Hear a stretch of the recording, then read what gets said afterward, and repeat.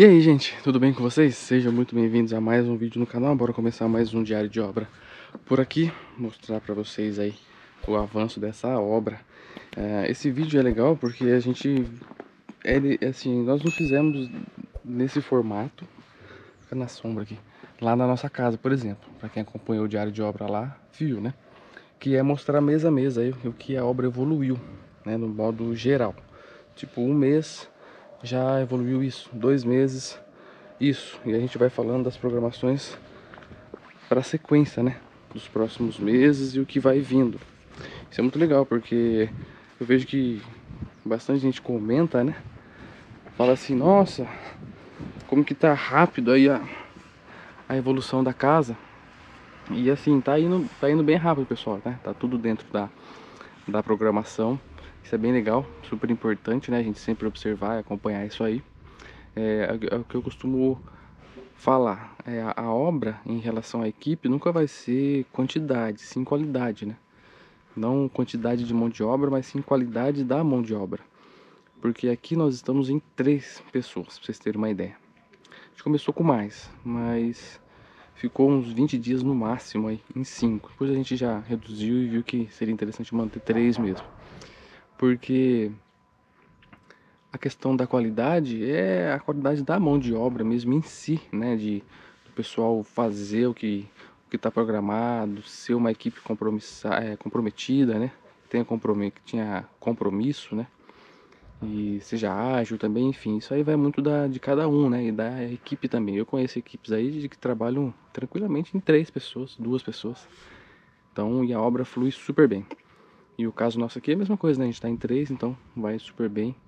E top, super rápido. Vou mostrar pra vocês aqui, ó. Onde a gente já tá. Como vocês estão acompanhando, já estamos na fase da laje. Hoje, pessoal, estamos aí há dois meses e seis dias de obra já. Acreditem se quiser. É... Para o que tá aqui, né? É bastante coisa. A, a, a etapa que nós já estamos, dois meses é fluiu e evoluiu muito rápido a obra, né? Estamos aí na laje, na etapa da laje.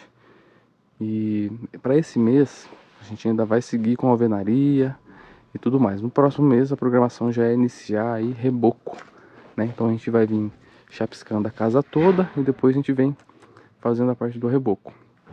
Esse mês, para vocês terem uma ideia, a gente vai finalizar a laje, concretar a laje, a gente vai ter que subir o pé direito da sala, né, que aqui ele tá nos 3 metros, né, na mesma medida do restante da casa.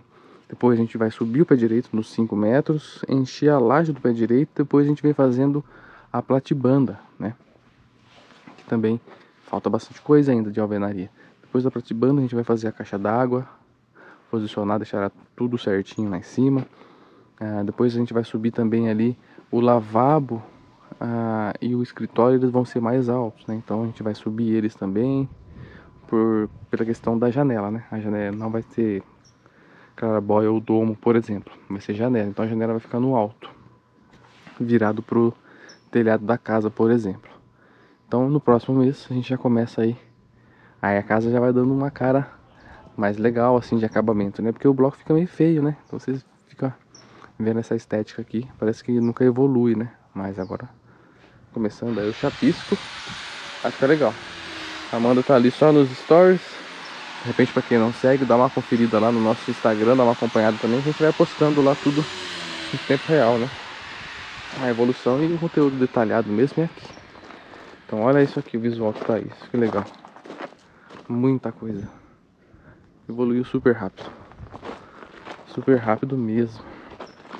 Aqui ó, já posicionou então as vigotas falta subir. Deixa eu dar uma distribuída aqui também no, no isopor EPS, né? Aqui a gente já começa a ver beiral, ó que legal. O beiral da laje já tá aqui. E aqui vai ser uma área, vai ser um corredorzinho, né? Aberto. O beiral passa aqui. O beiral ele passa 75 centímetros, tá pessoal? Para quem quiser saber essa informação. Deixa eu mostrar mais pra cá pra vocês verem como que tá. Ó, esse, essas três vigotas aqui, menores, elas vão ser posicionadas aqui, ó. Três, três partes aí. Olha que legal que já tá isso aqui. Aqui a gente está na cozinha, que é integrada aqui com o gourmet, né? E, essa, e esse visual, essa proposta vai ficar muito top, porque essa viga passando que vocês estão vendo aqui, ó, ela vai ficar escondida, porque embaixo dela vai passar o forro de gesso tabicado. Então o forro de gesso ele começa aqui e vai até lá, o mesmo forro. Então vai dar uma sensação ainda maior de amplitude, vai ficar muito lindo isso aqui. A janelinha baixa também vai ficar bem legal. Uma proposta bem legal, moderna, que está utilizando bastante agora nas obras. A gente está sempre utilizando, né? Os clientes pedem também. O pessoal tá lá só na montagem. Olha que legal que fica o visual. Já como daqui a pouco já tá com isopor já. Agora a gente tá só aguardando chegar as malhas pra gente começar, né? Colocar e não subir muito a placa de isopor. Porque o isopor é leve, né, pessoal? Igual vocês sabem. Então se a gente montar todas essas placas e porventura e de repente do nada dá um vento, ele entra por baixo aqui, ele ergue todas as placas, ergue tudo e sai placa voando pro condomínio inteiro. Então não é muito interessante montar todas, né? A gente colocou algumas só para ver como que fica. A malha chega, acredito que amanhã já chega a malha e a gente já vai jogando para cima, o eletricista já vem também. E aí, boa. Aqui já está tudo posicionado, os trilhos também do corredor são menores, né? A gente vai posicionar eles todos aqui na sequência, tudo certinho, bonitinho, que legal que fica. Aqui que eu falei para vocês, aqui vai subir, né? Esse pé direito aqui do, aqui vai ser o escritório. Então, tamanho ótimo aí de escritório. A janela vai ser nessa parede, nessa posição, só que vai ser lá no alto. E, ah, igual eu falei para vocês da programação, pessoal, o próximo mês é, a gente vai começar o reboco, né? Depois a gente vai dar mais detalhes, mas o reboco sempre vem de cima para baixo, para a gente já conseguir fazer simultaneamente o telhado, cobrir a casa. A gente faz a estrutura do telhado, a gente vai definir ainda se vai ser madeiramento, se vai ser steel frame, a gente vai definir ainda a telha também, enfim.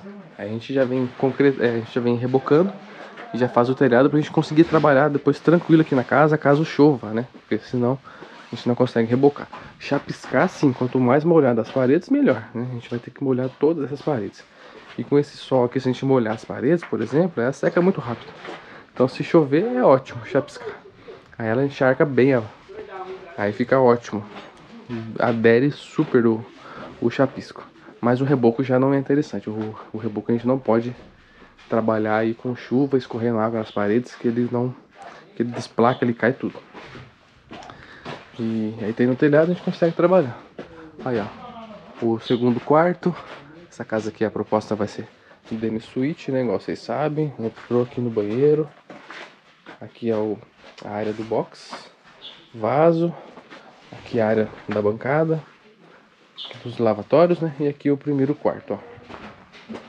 É bacana também essa proposta, né? Dois quartos compartilham aí o mesmo banheiro. Fica bem... Tem uma certa privacidade, porque a gente tem as portas aqui, né? E, e a parte do banheiro mesmo, digamos assim, íntima, né? Fica fechadinha aqui. A turma tá aqui, ó. Montando toda essa... Aqui é a suíte master, né? Ó, uma placa de GPS que legal que fica, gente. Ótima, ótima opção. É, a gente gosta bastante de trabalhar com essa, esse modelo de laje, né? Protendida usando as placas de GPS, fica mais leve. Ah, chegou? Vou lá ver o, o eletricista. Fica mais leve, né, pessoal? Economiza mais concreto. E ainda tem a questão do isolamento térmico. Deixa eu ver, eu conversar ali com o eletricista, ele vai dar uma conferida aqui como tá ficando. Bom, o eletricista já foi, ele, ele chegou bem, é, bem na hora que a gente tava gravando aqui, porque eu pedi pra ele, dar, pra ele dar uma passada aqui, gente, pra dar uma olhada, né, dar uma olhada como que tá ficando, pra gente já começar a soltar os conduítes. Top, semana que vem a gente já começa a fazer essa parte. Então voltando aqui, ó, a gente tava na Switch Master, mostrando pra vocês a placa de GPS, ó. Legal que ela é. E já colocaram aqui também as vigotas do closet e também do banheiro. Então daqui do fundo, agora só falta... É, nossa, verdade, agora só falta lá na frente, pessoal, para subir. Ah não, falta os corredores aqui, ó. Acabei de passar aqui do lado. Falta então a gente fazer os corredores, ou, ou corredor, que é bem rápido, porque é mais leve, mais fácil para subir. Então, aqui vai jogando para cima e já vai subindo tudo já. Então, ó, pronto aqui também. Aqui também já tá tudo ok. E, e agora falta o corredor e a garagem. Então é isso, gente. Dois meses, seis dias de obra. obra evoluindo super rápido. Mês que vem já começa reboco. E, e aí já vai entrar reboco, já vai entrar telhado. E já teremos... Ó, pra vocês terem uma ideia. Mês que vem, chapisco, reboco, calha, telhado, encanamento de água. E alguma coisinha talvez de elétrica. Então vai fluir bem, vai, vai dar uma boa adiantada. Essa é a nossa programação então para a sequência. E aí, três meses, a gente já tem uma ideia, né? A gente já sabe, a gente já tem essa noção do, da, do ponto que vai estar daqui três, da, da, daqui quando a gente completar três meses e seis dias, por exemplo. A gente volta e faz essa essa revisão aí com vocês, falando o que já foi feito, como que tá. A equipe vai ser a mesma, a gente vai manter a mesma quantidade de pessoas e, e vamos seguindo. Talvez piscina a gente mexa, não sei. Vou ver ainda se vai ficar, se é interessante eu mexer na piscina, mas talvez eu nem mexa no mês que vem na piscina ainda. Vamos ver. E a gente vai trazendo para vocês e vamos subindo aí essa casa aqui. Tem bastante coisa ainda, tem bastante coisa ainda pela frente, né, pessoal? Bastante trabalho. E é isso aí então. Esperamos que vocês tenham gostado aí desse conteúdo, desse vídeo. Se vocês gostaram, deixe seu like, se inscreva no canal, ative as notificações, né? Pra vocês não perderem os próximos vídeos. Acompanhe também no Instagram, bastante conteúdo por lá. Espero vocês pro próximo vídeo. E.